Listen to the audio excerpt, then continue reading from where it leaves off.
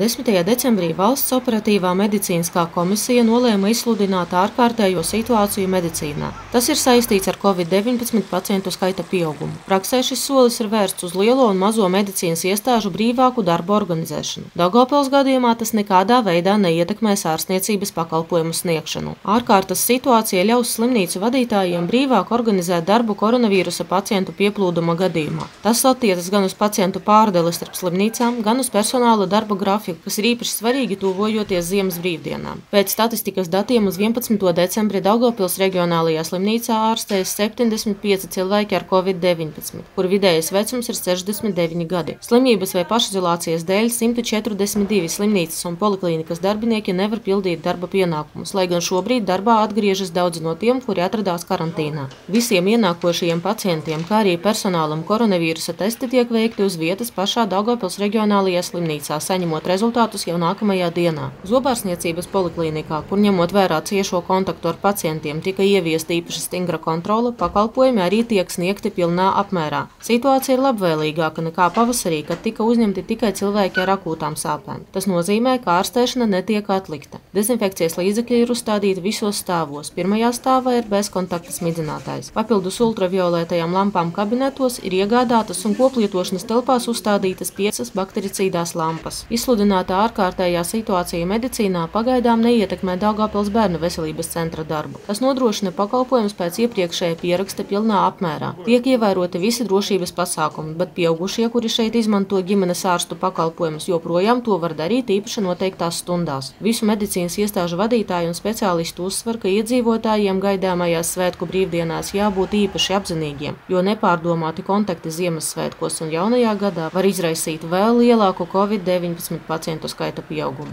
Sižetu sagatavoja Daugavpils pilsētas domas sabiedrisko attiecību un mārketinga nodaļa.